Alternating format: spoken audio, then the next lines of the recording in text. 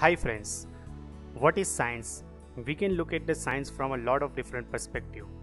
One of the way to look at the science as a finding the relationship between the different quantity.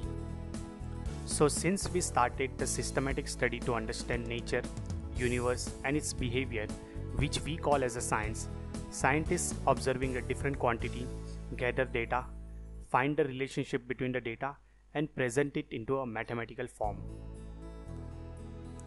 Sir Isaac Newton observed force acting on an object, acceleration applied on object, mass of an object, and found out that they are related quantity.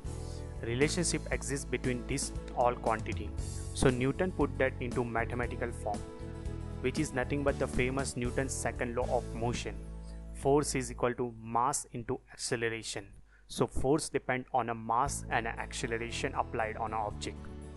Dr. Albert Einstein showed that mass can be converted into energy and energy can be converted into mass. These are the related quantity. So he came up with the famous mass energy equation which is nothing but E is equal to mc square.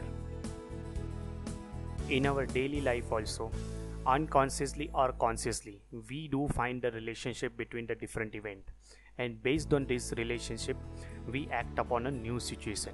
So science is all about finding the relationship between the data. A relation exists everywhere.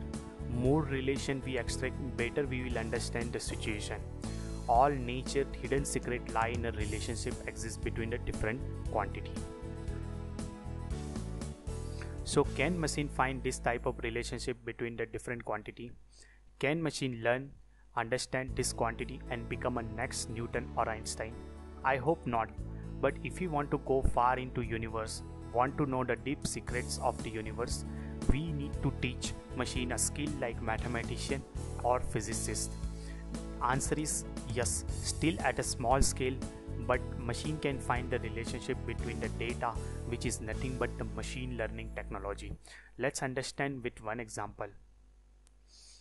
Let's say we want to find the price of the house in a town and we have a data available with us for 10,000 different houses like number of bedroom in a house total square root foot of the house and the price of the individual house. So can machine find the relationship between the data using machine learning algorithm that how much weight individual feature has on the price of the house? Yes regression one of the supervised machine learning technique we can use it we will feed all 10,000 house data on a regression algorithm and it will come up with a model and that model is nothing but the relationship between the input observation. So for a new house data when we feed it to the this relationship it will tell us the new house price. It will predict the new house price for us.